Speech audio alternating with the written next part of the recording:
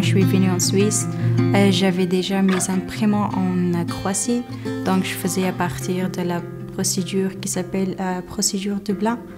Euh, je n'étais pas euh, capable de, de m'intégrer ou d'avoir les cours de français parce que j'étais déjà une adulte.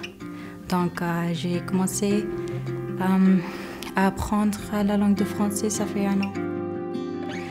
C'est la première étape pour s'intégrer dans un pays ou dans une nation, c'est la langue.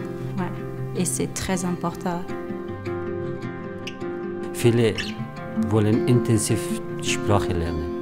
Wenn es in den Städten, in Städten kann man ein, einen kostenlosen Deutschkurs oder Sprachkurs auch finden. Aber beim, äh, beim Dorf, das ist nicht die Möglichkeit. Herausforderung äh, sind äh, Sprachkenntnisse, Sprachkenntnisse, Sprachkenntnisse. Wir brauchen als eine flüchtlinge Person äh, brauchen mehr Hilfe für äh, i- intensiv Deutsch äh, Programm.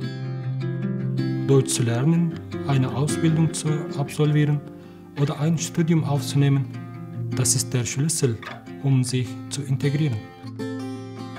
Das ist mein Ziel, ist es, auf eigenen Beinen zu stehen. Das ist sehr wichtig in der Schweiz. Ah, je parle l'anglais euh, et il y a deux langues officielles dans mon pays qui s'appellent Farsi et Pashto. Donc ça fait déjà trois. Je parle la langue Hindi, euh, donc quatre, l'arabe 5 et le français 6. Meine Muttersprache ist Arabisch. Außerdem spreche ich äh, Englisch. Turkish, Azerbaijanisch und äh, Englisch. Drei Dialekte, Dari, Hazaregi und hm, Iranian-Persisch. Und auch spreche ich Pashto und Englisch.